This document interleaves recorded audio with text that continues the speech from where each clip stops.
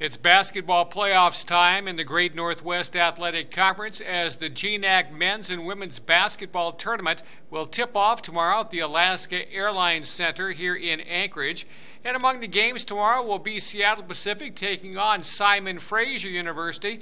And Sophie Swant from the clan is joining us now on uh, GNAC.tv. And I guess, Sophie, the, the first question I have to ask you is at one point, the Clan seemed to struggle just a little bit, but towards the tail end of the season, this squad really started to come together. Had a little bit of a winning streak at the end to get you into the postseason.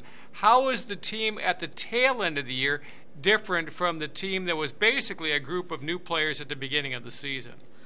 Um, well, we've spent from the beginning to the end of the season, it's four or five months of just playing together, bonding. A lot of people kind of counted us out because we were eight players, seven players, sometimes even six players. But I do think it allowed increased bonding on and off the floor, and that shows in how we play. Our fluidity has come, our just straight motion offense looks better. We know what the other person wants to do more. Um, so today we're playing as a unified group, whereas at the beginning of the year it was like a bunch of individuals who were quite skilled individually but had no idea how to play with one. Well, and you said something before we began this interview that the team at the end of the year, as compared to the team at the beginning of the year, quite a big change. If those two teams played each other, they were able to do that. The team at the end of the year would win and probably handily. Oh, it wouldn't even. It would be like a university team playing a high school team. We'd win by like 45 points, 50 points for sure. How much do you credit to your head coach Bruce Langford? He, he's a veteran. He's a he's a calm demeanor on the bench there. How much has he been responsible for helping to pull this team together? Oh, uh, a great deal. I mean, you look at his coaching history, and he's had team after team that have come together in their first year, second year, third year, fourth year, and have had that time to grow together.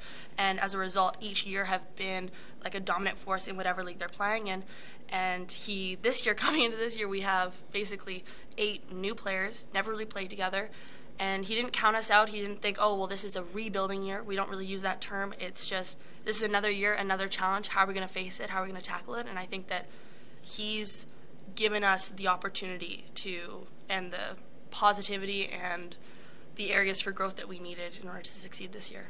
And Seattle Pacific University is going to be the challenge for Simon Fraser tomorrow in quarterfinal play here at the GNAC Men's and Women's Basketball Tournament in Alaska. Sophie, thanks for joining us. We'll Thank have you. that action for you on GNAC TV. And thanks for joining us. I'm Rob Lowery from the Alaska Airlines Center for GNAC.tv.